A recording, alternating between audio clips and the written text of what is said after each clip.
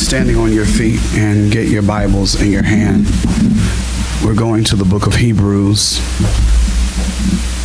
Hebrews, chapter number 12.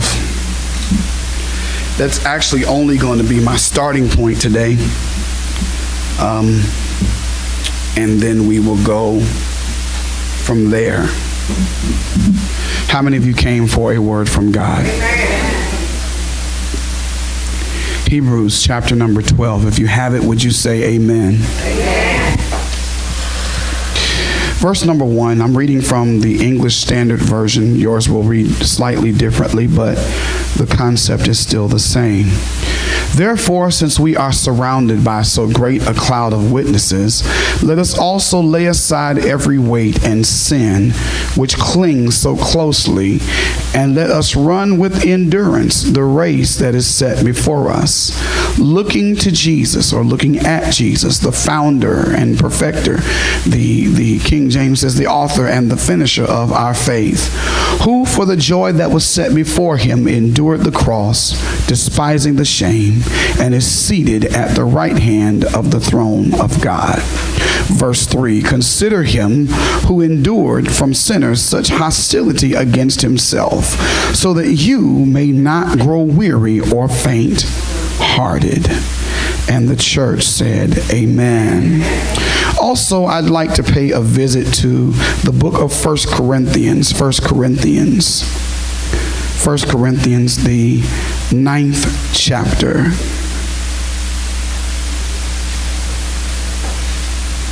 First Corinthians, the ninth chapter, verses 24 through 27.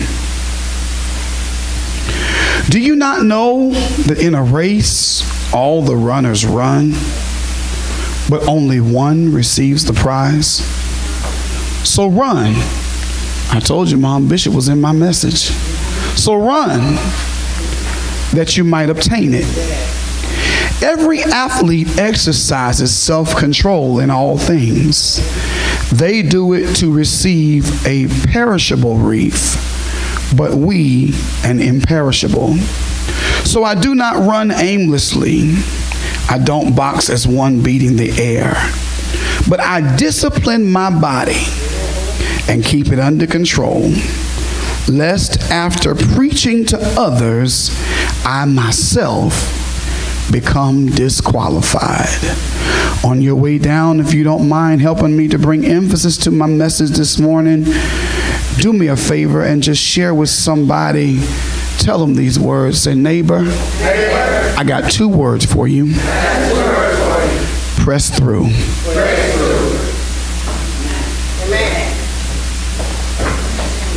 Press through.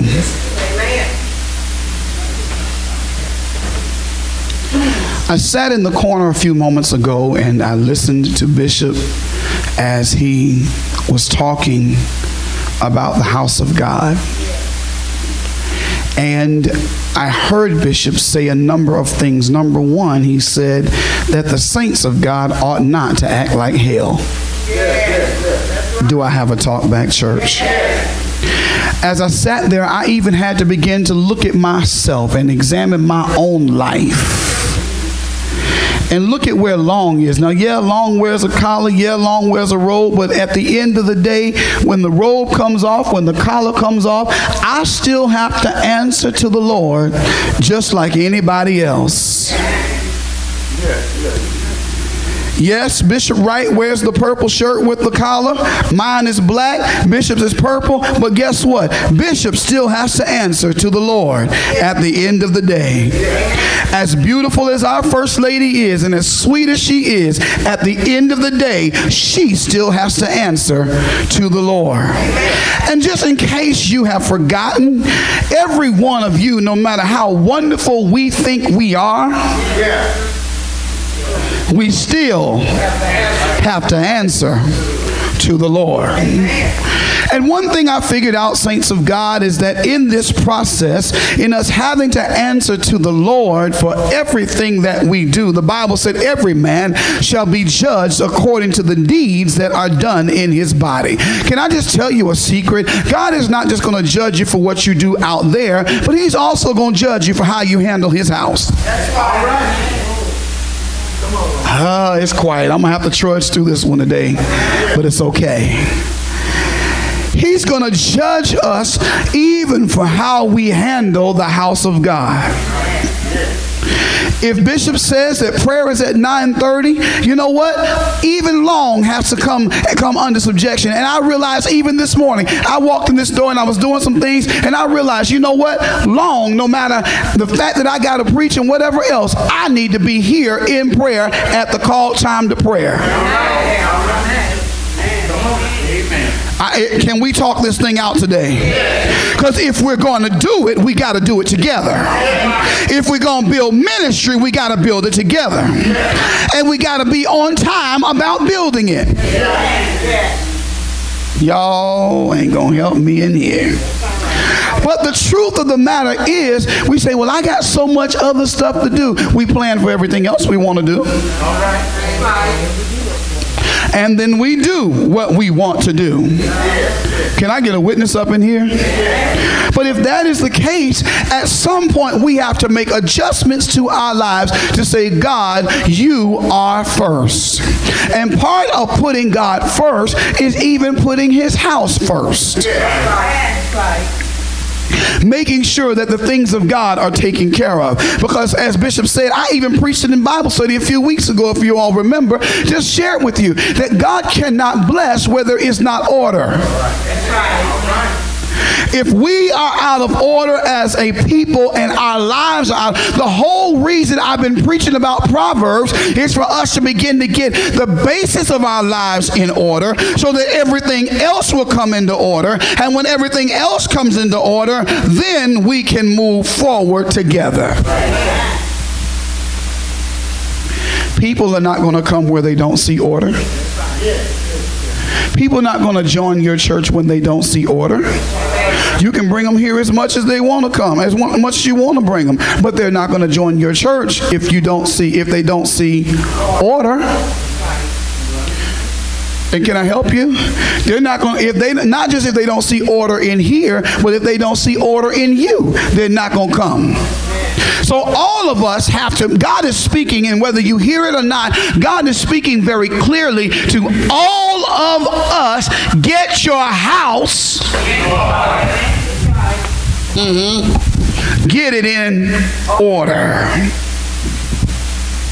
Now, that means we got to judge our heart. And, and, and the Lord began to say something to me this morning, and I'll, I'll preach. I'll preach this evening. I got to be at Pastor Sean Welch's church right here in the city. So if y'all can meet me at 6:30, please meet me there. But I, I'm going to take my time and work the word today. Is that all right? All right.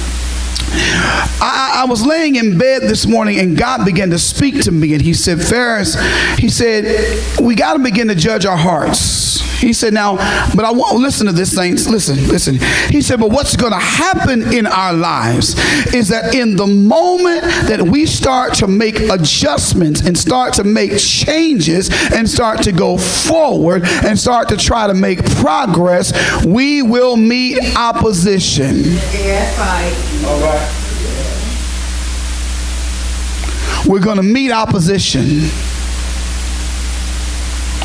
The moment you decide, I'm going to do the right thing in my life, opposition is going to come.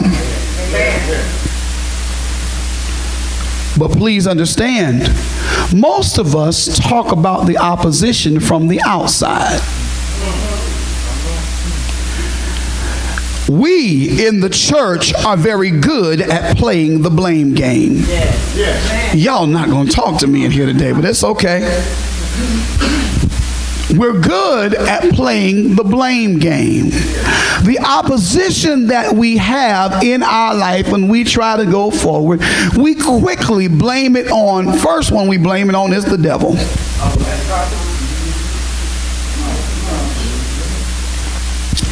The devil is busy.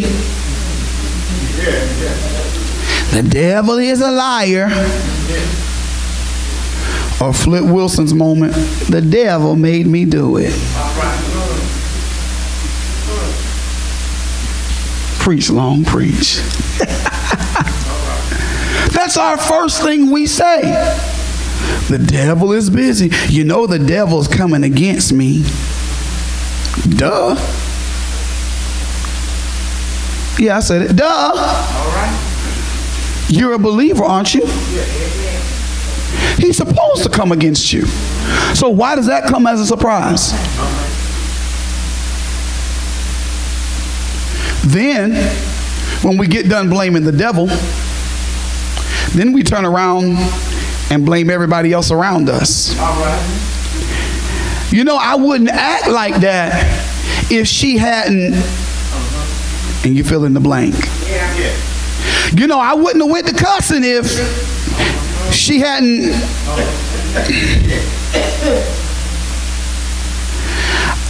I, I wouldn't. I wouldn't have done this if they hadn't.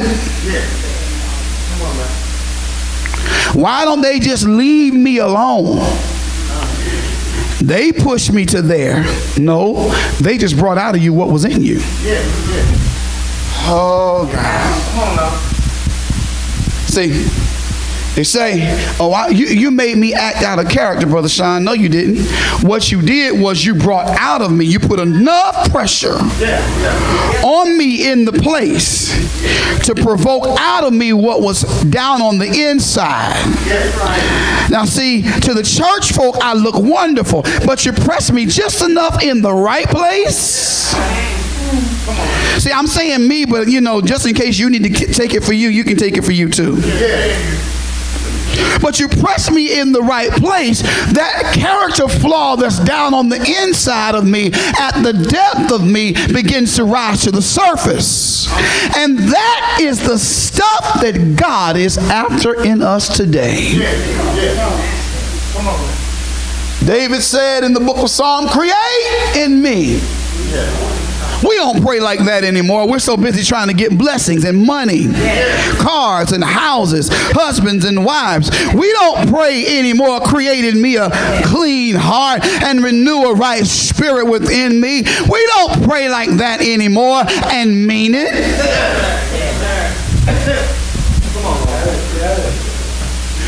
Because when we start praying, creating me a clean heart and renew a right spirit within me, that means God's got to go to the depth of you. He's got to make you uncomfortable. He's got to start digging in some stuff that you don't want him to dig into in your life. And when he starts doing that, that's when we start to draw back and say, wait, whoa, whoa, whoa, whoa, hold, hold up, hold up, hold up. Too much. I can't handle that. No, no, no, no, no. But he knows how much. The Bible says, He knoweth my frame. And when he has tried me, I shall come forth as gold. He's got to purify. That word try is not just the word testing, but it literally means when he has turned up the heat. Yeah, yeah. Why do you think it is that in your life right now the heat has been turned up? Oh, God help me preach today. Why do you think the heat has been turned up in your life? The heat has been turned up in your life very deliberately for the purpose of causing what was down deep in you to rise to the top. So you can see the real you. Yeah. Now, can I pause right here and put a pin? Because this week I saw something in Farris that I did not like. God allowed something to come up in me that I did not like, Bishop. I said, Oh God. Oh God. I had to, but listen. Now I'm not going to talk about y'all. I'm going to talk about me for a minute, okay? Yeah, yeah. And for a moment, I was inclined, when I saw it, something in me wanted to pull back. Yeah. I started pulling back. I started to kind of kind of go into the shell mentally and emotionally, and I didn't really want to have to deal with what I saw in myself, the realities of what I saw in myself that I did not like. All right, all right. None of y'all do that, huh? Yeah. You know the reason why we're not making progress in our life is because the stuff that God brings to the surface, we're not addressing it. We're not allowing Him to deal with it. What we're doing is we're backing away from the fire. Lord, I'm talking about the Holy Ghost right here.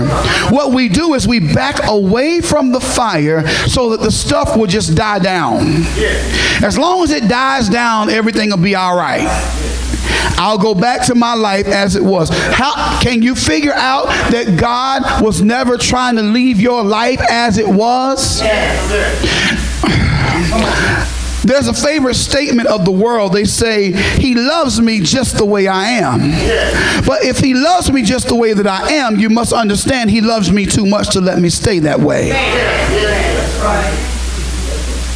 So he's going to turn up the heat. He's going to allow you to see things on the inside of you. Some stuff you thought was gone and dead. Oh, God, help me preach. Some stuff in your life is like Freddy and Jason. Yeah, yeah.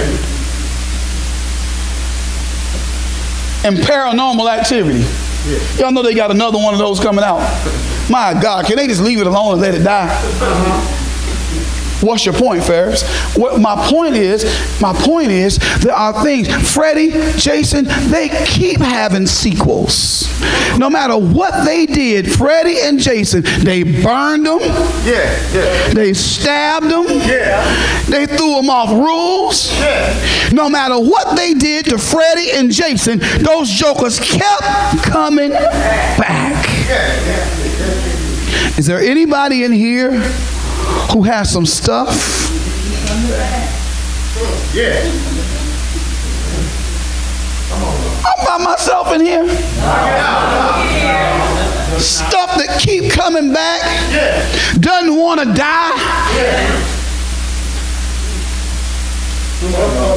Mm. I'm gonna take my time and preach today, y'all. Take the time. Because we say we know God wants to bless us. But we don't act like God wants to bless us. We don't want to do the things that it takes to posture ourselves to get the blessing. As long as we can be comfortable with getting uh huh. Somebody got it. A blessing, we say, I'll be all right. But today, this is not a shout and dance message.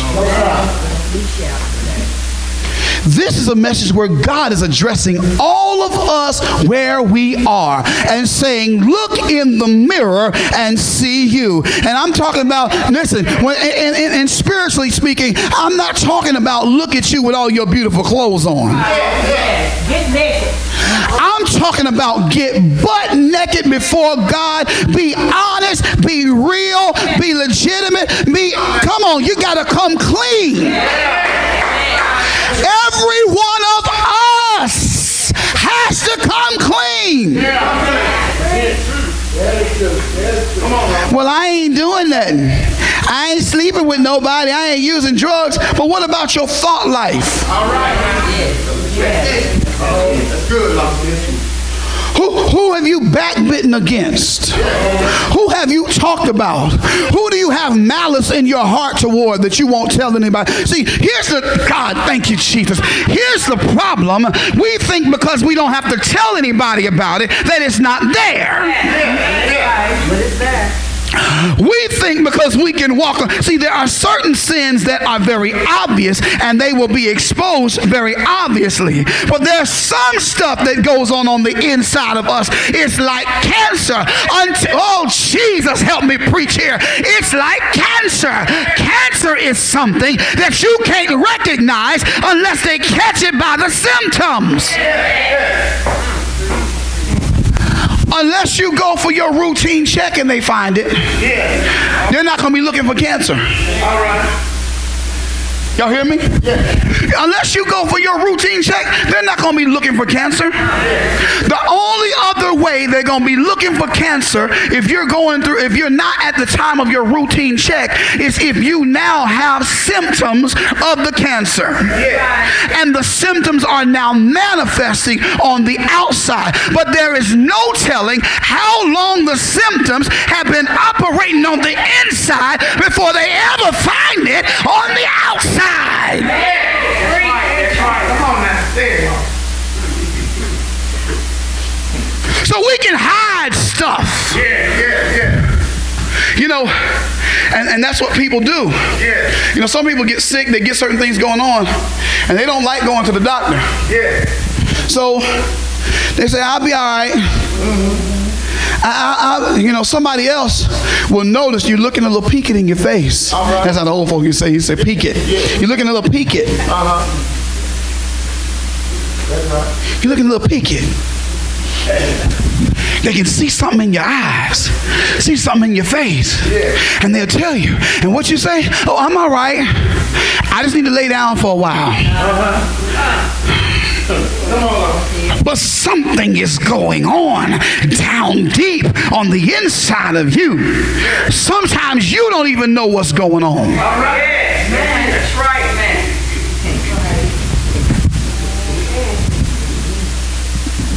And so,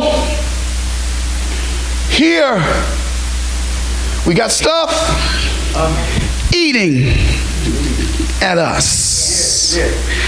Slowly, but surely killing us.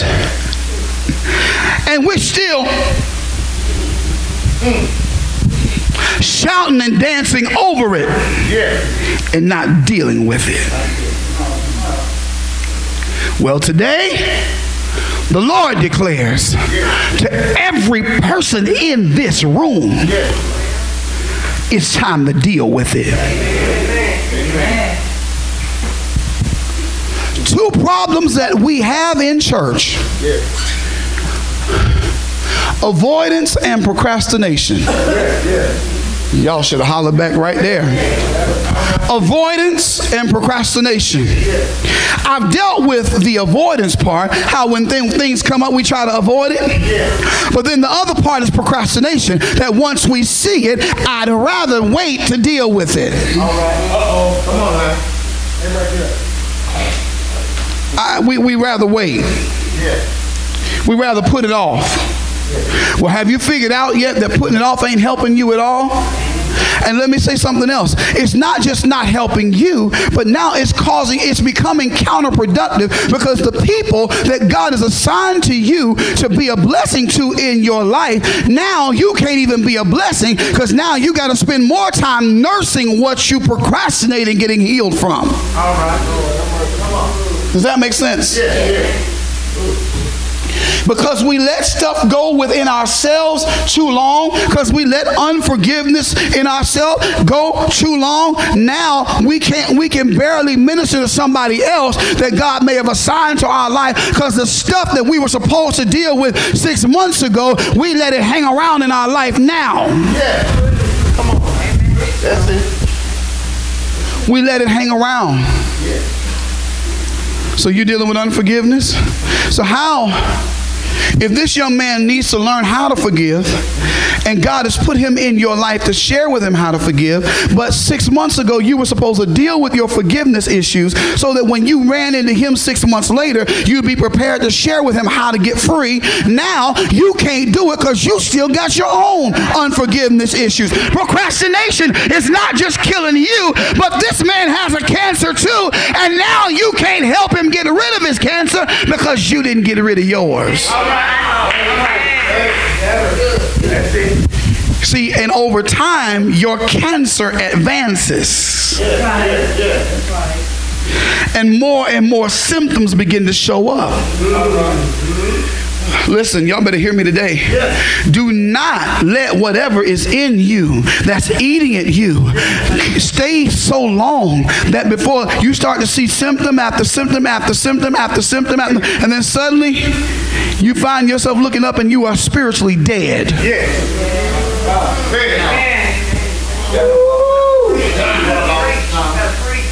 Y'all, it's serious today. Yeah. It's serious. Huh. I know what the problem is. I, I just heard God tell me what the problem is. He said, You're not broken yet.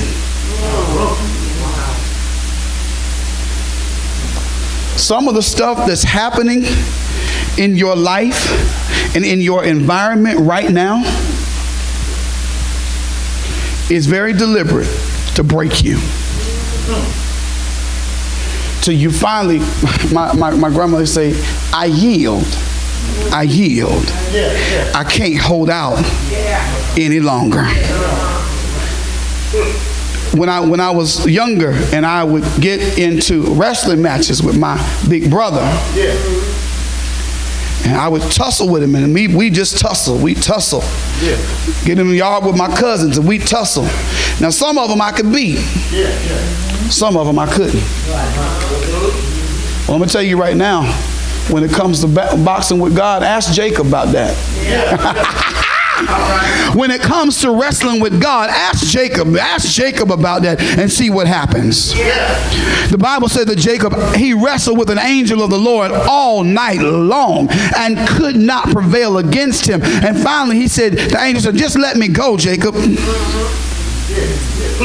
Jacob held on. but Jacob couldn't win. There has to come a point, saints of God. See, when I would wrestle with my brothers and with my cousins, the ones that could beat me, I had to get on. There was a point where I had to do something called tap out. And some of y'all, y'all say, I give. I give. You got it. I give. I give. I give up. I give. Which is short for I give up.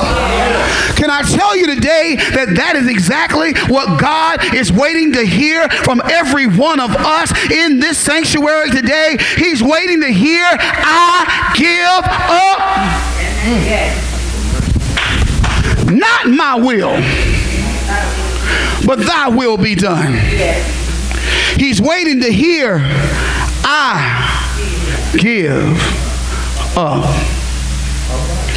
The enemy is saying to you, see, help me, Holy Ghost.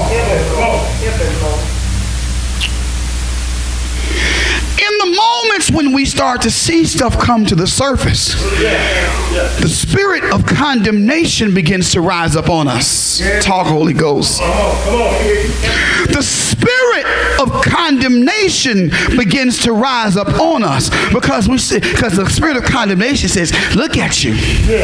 You supposed to be saved, not supposed to be. You supposed to be saved. You supposed to be Holy Ghost filled. You supposed to be one them tongue talkers." Doesn't that sound like the spirit of condemnation? Doesn't that sound like what some of us hear when we miss the mark? Yeah.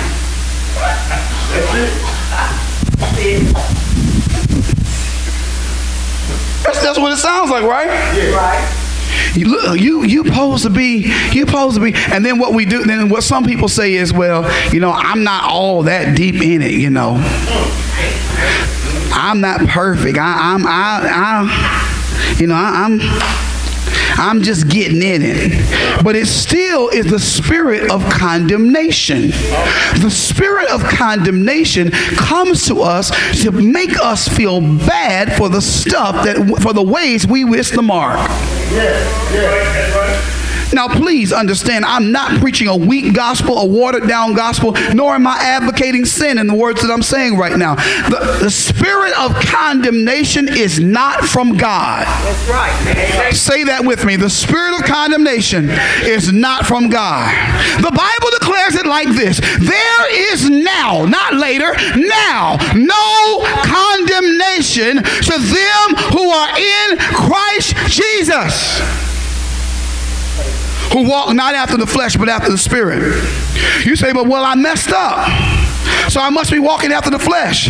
But do you have something in you that convicts you of your sin and says, I need to turn from that? Then if you got something in you that's convicting you and saying, I need to turn from that, you are no longer walking in the flesh, but you are now dealing with the Holy Spirit of God. And so there is no condemnation to you.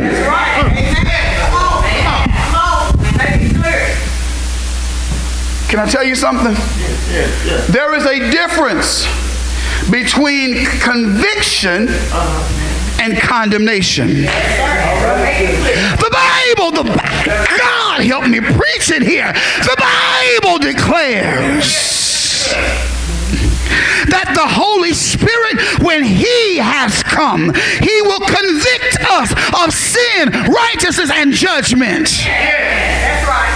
Come on. He will convict you. But then the Bible says there is no condemnation. Well, Long it seems like those are two of the same exact words. No, they're not the same word because condemnation tells you how bad you are. Look at how horrible it you are. Look at how much of a mess you are. You are so jacked up. You are so this. You are so that. Condemnation tells you how bad you are. But conviction tells you how good you are. In other words, conviction tells you, you know you better than that. You're a son of God. You're better than that. You don't have to keep doing that. God loves you. Come on back. Conviction says, come on back here. God loves you. God cares for you. Come on back. All right, all right. That's what conviction says you've gotten too far away. Come on back home. Conviction says you know where you belong. You know you're a son of God. Come on back. Come on, Lord. That's what. Oh, my da. How, how, how do I know what conviction looks like? Because there was a moment when the when the prodigal son was down in the pig pit, and the prodigal son was like, "Man, I know I don't belong here." Something on the inside of him woke up and said, "I'm better than this. I don't belong in the pig pit." Conviction will tell you, "I don't." Oh God. Oh. It was condemnation that got him in the pig pen, but it was conviction that pulled him out.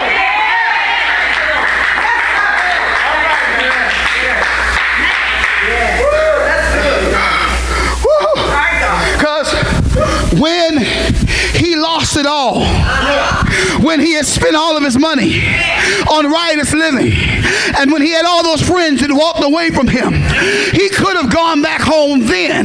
But condemnation set in. And when condemnation set in, he said, I'll just go wherever I can go. And he went looking and searching for somewhere that he could be. And he found himself in the pig pit. It was condemnation that got the man in the pig pit, but conviction that said, You are still a son that got him out of the pig pit. Yes!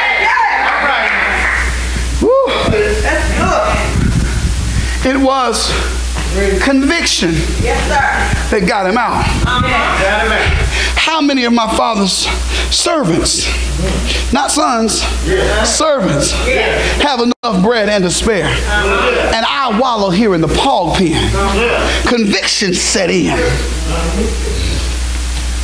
And when conviction set in, Yes, sir. he said, You know what? I got to get up from here. Uh-huh. Yes, sir. I'm preaching to somebody today. Conviction is trying to set in. Yeah. Jesus said it like this the day you hear my voice. Don't conviction is trying to get in. Through this word today, conviction is trying to set in.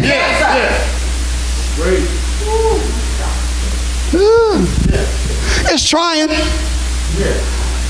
Let your guard down and let conviction in. The devil's lying to you, telling you God doesn't love you anymore. You're not in the same place with God anymore because look at you. Look at what you've done. Look at your messes. Yeah.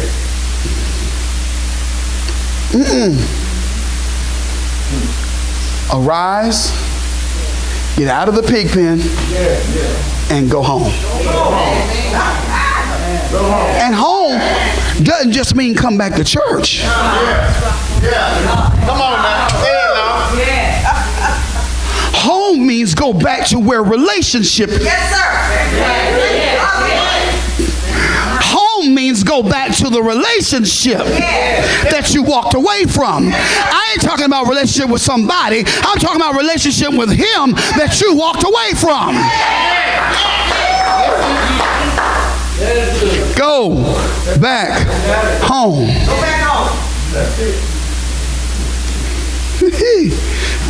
Somebody needs to get this today. God's telling all of us, go back to the place. Y'all know old song said, Take me back to that place where I first believed you. Take me back to the place where I first received. Take me back, Lord, to the place of relationship. I'm almost there, y'all. So we deal with this. And so it causes us to want to draw back. But God began to say to me this morning, press through. Press. Yes. Somebody holler, press through. Press through. Matter of fact, matter of fact, just turn to one or two of your neighbors real quick and encourage them and say, press through.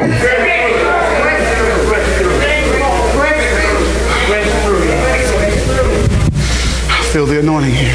Hallelujah. Come on, Lord. Yes, Lord.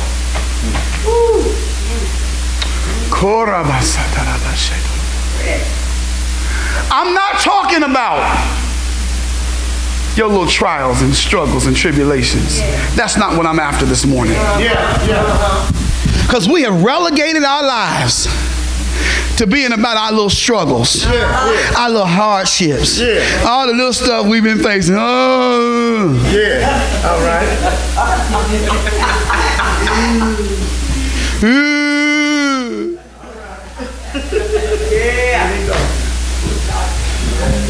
So, every week, we live for a shouting hallelujah good time to take us up out of our moments. Yeah. Yes, sir. Come on now. Live it like this. We live for these hallelujah and, and, and tune up and all that. God's going to bless you messages to give us quote unquote hope. Notice I put hope in quotes. Because really all it is is excitement. Maybe I'm going to make it. I might make it. It's going to be, and there's something else that you. You're back to crying again. You know, I've been going through. Yeah. I've been going through. And all we talk about is I've been going church, especially the African American church, that we've relegated our shout and our praise on going through. I've been going through, and God bringing me out. I've been going through. Listen, the Bible already declared many are the afflictions of the righteous, but the Lord delivers them out of them all. I'm not telling you not to praise God because He brings you out, but everything in your walk with God should not be contingent on I'm going through. Yes. Ooh, I feel the anointing in here this morning. See, what I'm after this morning has nothing to do with going through as far as trials and tribulations. What I'm after this morning when I say press through, I'm talking about pressing through the things that stop us from dealing with the real stuff on the inside of us so that we can step into the fullness of what God has for us.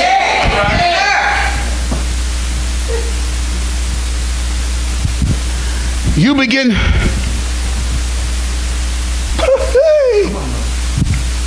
when God, when you begin to submit to God and He begins to clean you out for real, guess what He makes room to do? enlarge you. When God, God, too much, too much, Lord.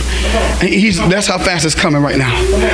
Bible says this, says these words. Watch this, y'all. He gives us feet like hinds feet, so I can walk on my high places. Now, the young deer, the young hind, can only go so high because he's not experienced enough to know how to navigate the higher altitude. But when you submit to God and eat His Word and take His Word in and let His Word come alive in your heart, He begins to enlarge you. And as you become enlarged, He also increases your experience. And by increasing your experience, He increases your territory. We say, I want God increase my territory. Well, how about we learn how to submit to Him? So He can enlarge us and enlarge our experience. And in enlarging our experience, He enlarges our territory. When that hind gets a little bigger and gets a little more experience, he can climb a little bit higher. Look at somebody and say, God wants to take you higher.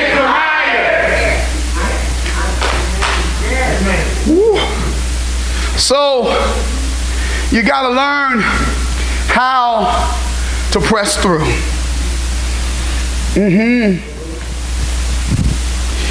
You're going to have to press through emotions. Yeah, yeah, yeah. You're going to have to press through the desire to give up. You're going to have to press through the desire to fall back. Hey, God. Because let's be real. Some of us think because we didn't fall out that we didn't fall back.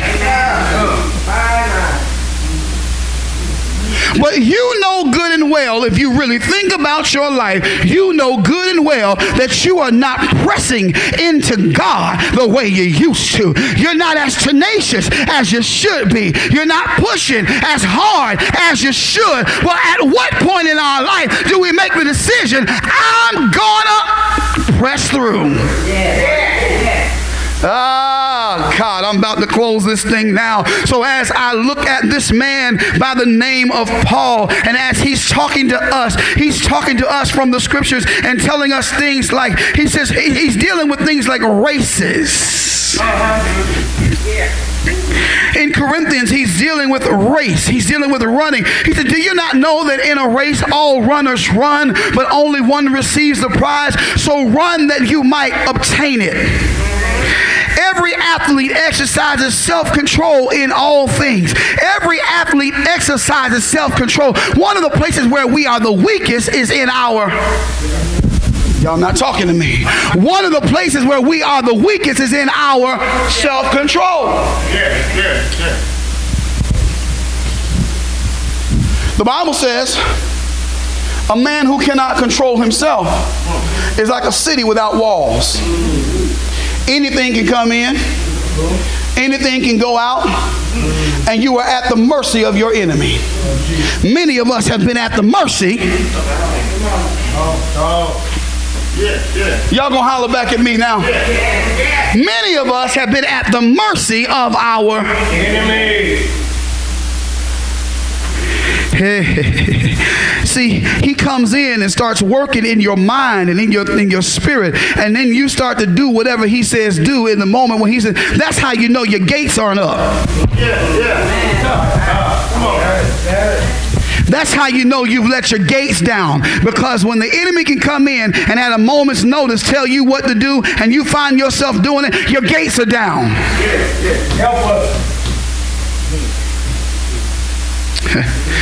Can I can I go can I go further? Yeah, yeah. when they would take over a kingdom or a place, a land, they would get the gates down first. Can y'all handle some some preaching today? Yeah. They would deal with the gates first.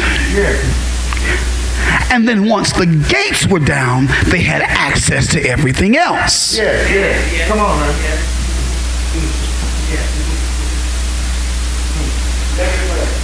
In our lives,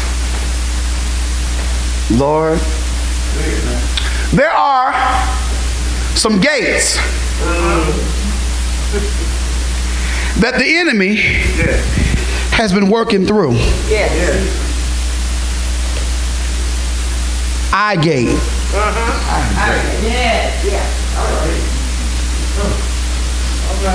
ear gate, Yes. Come on, man. eye gate, ear gate are the two primary gateways to your spirit.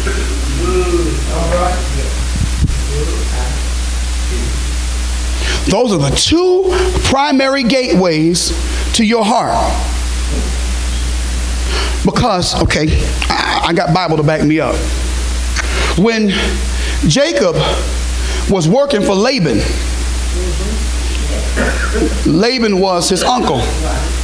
While he was working for him, the Bible said that he says, uh, Laban, now see, they believed back in that day that spotted animals were weaker, were not as strong as solid colored animals.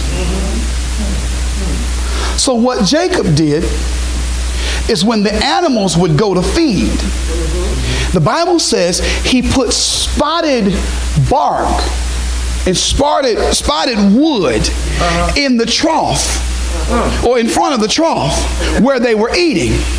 So while they were eating, what they were looking at was spotted. It's in the Bible, y'all. Next thing you know, two solid animals, because of what they were looking at while they were eating, Come on began to produce spotted offspring. Just by what was in front of their eye gate. Are y'all catching this revelation now? You might be solid. Oh, God, have mercy. You might be solid in your walk with God, but because of what you are looking at, you are producing spotted stuff. Yes. Woo! Some of us have to reevaluate what we watch on TV. That's right. Oh God. Some of us have to be re, have to reevaluate what we listen to on the radio. Yeah, yeah, yeah. Okay.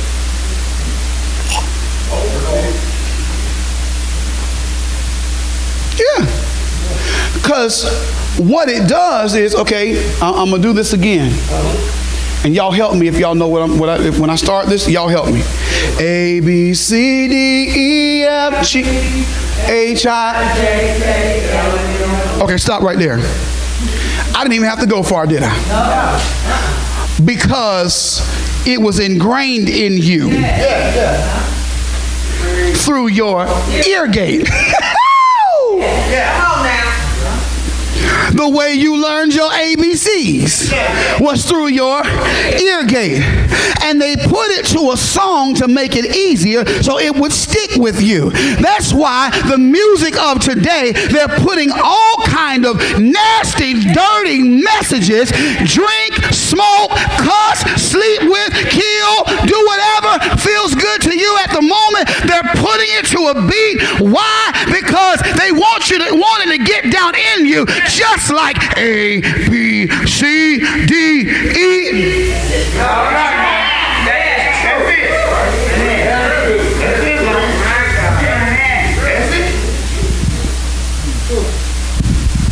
But don't, don't let me not see because I know some of my seasoned saints, y'all are saying, yeah, that old nasty rap music they got playing. That's why I don't listen to that. But oh, oh y'all want to talk? Baby, I'm hot just like an oven. I need your loving. Yeah,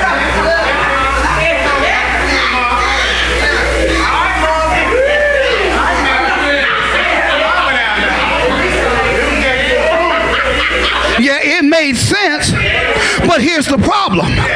Most anybody that listens to it, sooner or later, everybody in here, when I started, when y'all figured out what I was saying, y'all said, some of y'all said, hey. Yeah, y'all say that's that good music.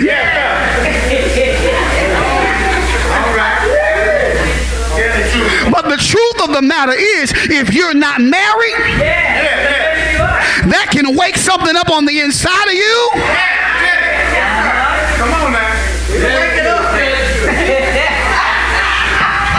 Let's get it on. All right now. Ah, baby.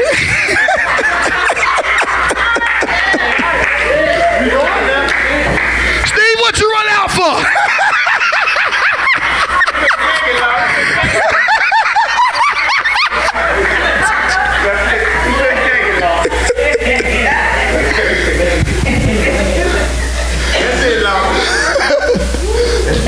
But the eye gate and the ear gate are two ways that the enemy finds access into our lives to operate in us. And next thing we know, we find ourselves producing what we've been putting in. Yeah. Old saying is, you are Yeah. what you eat. That's right. Okay. And so we got to learn. Paul addresses, and he's, he begins to talk to us from this concept of a race. He said, Everybody that runs, they run for a prize. Now, back in the day, they ran for a corruptible prize. They wanted a wreath that would go around their head to signify that they were the champion. He said, but we don't run towards a temporal wreath, We're running for something that is eternal. Yeah. Y'all, y'all, y'all see it in the book. And then it goes on to say, he says, but every runner that runs have to run with self-control. Uh-huh. Yes. So I want to leave you with a few points as I close to make this come home for you. God said to me this morning, He said, number one, tell them it's mind over matter. Yeah. Yeah. Yeah. Uh, if you want a scripture reference for that, Ephesians chapter 4, verses 23 and 24. I'm not going to quote it, but it's a matter of mind over matter. You've got to make up in your mind that I am going all the way. No matter what comes up, no matter what surfaces, when God turns up the heat in my life and reveals stuff about me that I don't like and that's not pleasing, and that if the rest of the church folks saw it, they would put me out of the church. When God begins to reveal that about you, that's not the time for you to back up. That's not the time for you to run away. That's not the time for you to quit. That's not the time for you to say, well, I, I, I, I, I. No, no, that's the time for you to say, it's my mind over matter. I got to keep going because one thing about it, if I stay close to God, God loves me enough to bring me out of it. God loves me enough to keep working on it. Hallelujah.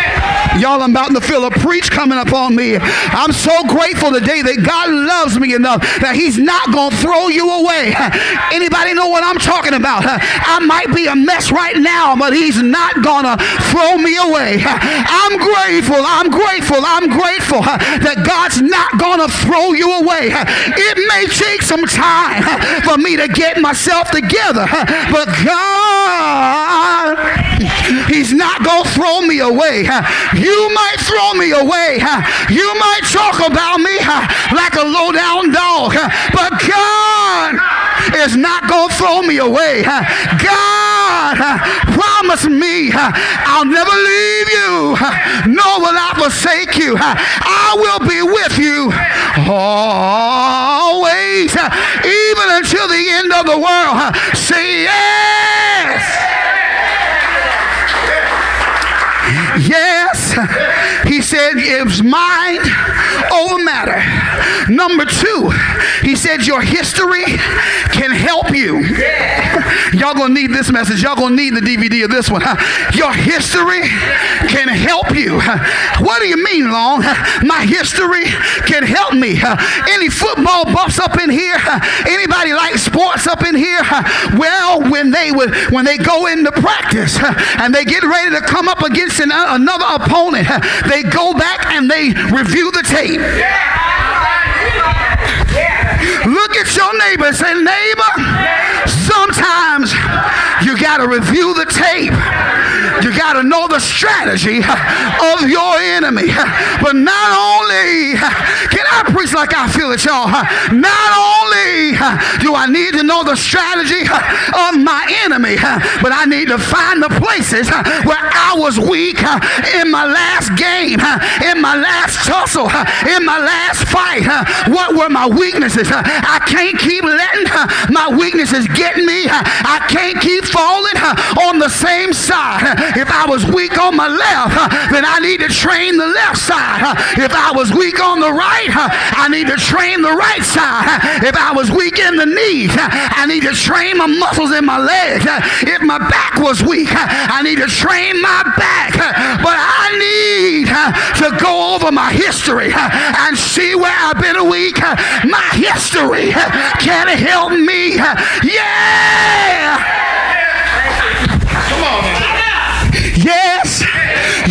History can help you. I know many times we say, I don't want to look back, but sometimes looking back is a good thing so you can find out where your weaknesses are.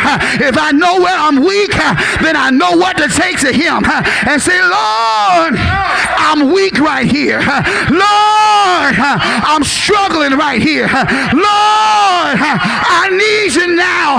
Yeah. I know where to take to him and say, Help me. I can't train myself. I can't help myself. I can't do it by myself. I need you. Yes, I need you.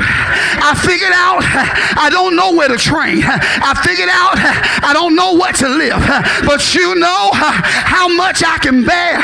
You know how to strengthen me. You know how to take me, make me stronger. Yes, I'm depending on you. You're my coach. I depend on you. You're my head coach. I depend on you. Yes. Yes. Yes. Coach to get me through. But one thing I found out here's my next point, y'all. Depend on your coach. Look at somebody say, depend on your coach. He never failed you yet. So you got to depend on your coach and let him call the plays. But while you're in the training session, can I preach like I feel it? While you're in the training session, you got to depend on the coach and the other people that he has assigned to help coach you. Let me help somebody. You can't depend on the cheerleaders to make you stronger. The cheerleaders are only there during the game, but they're not there during the time of the practice. They're not able to push you forward. Some of us are too busy looking at our cheerleaders and depending on our cheerleaders. I don't need a cheerleader in the battle right now while I'm in my training ground. I don't need my cheerleaders. I need a coach. Yeah!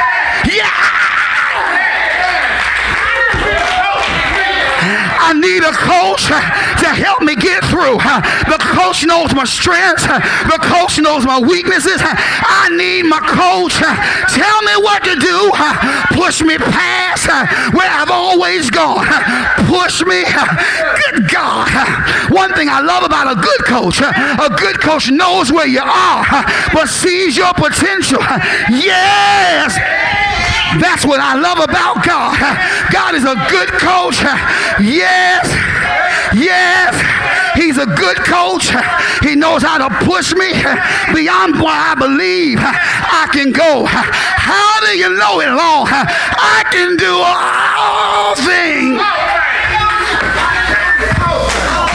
Woo. I can do all things through Christ that strengthens me. I can do it if my coach says so.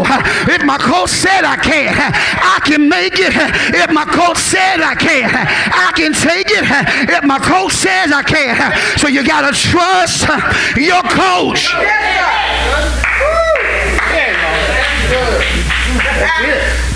Now, once you trust your coach, mm, you got to commit to the race. Feel this thing in here, y'all. You got to commit to the race. How committed are you to the race? All of the training you've been through, all of the weightlifting you've been through, all, all, all, all of the skirmishes you've been through, all of the scrimmages you had to go through. They were preparing you for the real game. Y'all not hearing me up in here. They were preparing you for the real game. They were preparing you for what was to come. And you got to commit. Oh, commit ah! The race. You got to commit to it, or else everything you've been through will be for nothing. You wasted the coach's time and you wasted your time. In other words, if you're going to go to hell, go to hell on. But if you're going all the way with Jesus, say, I'm in this for life. I'm in this for life. Hey!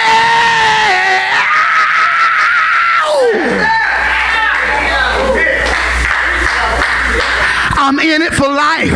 I'm not going anywhere. I might not win every race, but I'm going to keep running. Oh, I'm going to keep running. Is there anybody that says I'm going to keep running? I don't care what I see about myself. I'm going to keep running. I'm not getting out of the race. I got to keep going.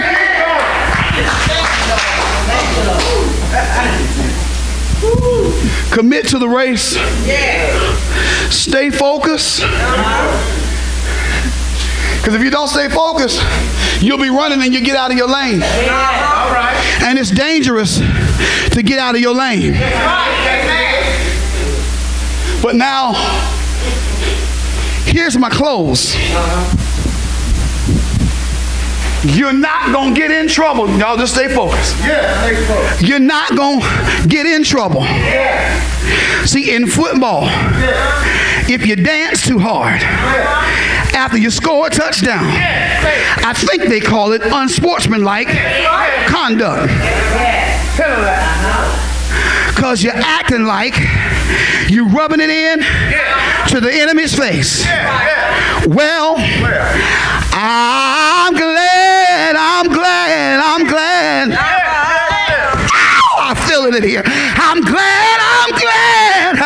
there's no unsportsmanlike conduct call uh, when I get the victory. Uh, every time I get the victory, uh, I can shout, I can dance as much as I want to.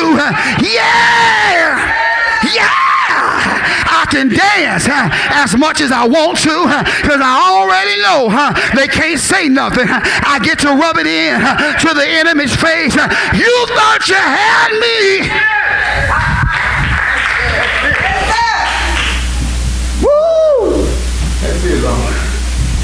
You thought you had me. Yeah. But I got away.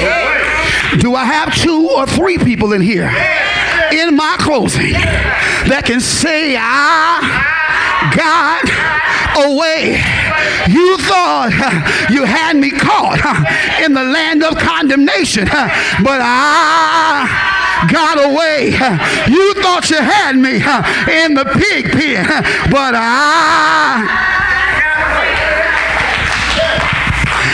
I decided that my story, oh, she catch shot. I decided I want my story was not going to end here.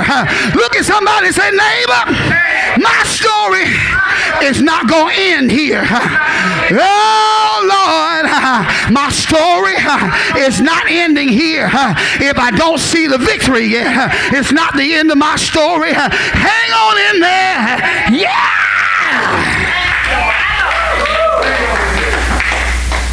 Your story is not going to end here. If you let your mind, I told you it's a matter of mind over. the moment the prodigal son decided to get up, that was when his story didn't end. The moment you decide, I'm getting up, I won't be held captive, but I won't keep repeating the same mistakes over and over again.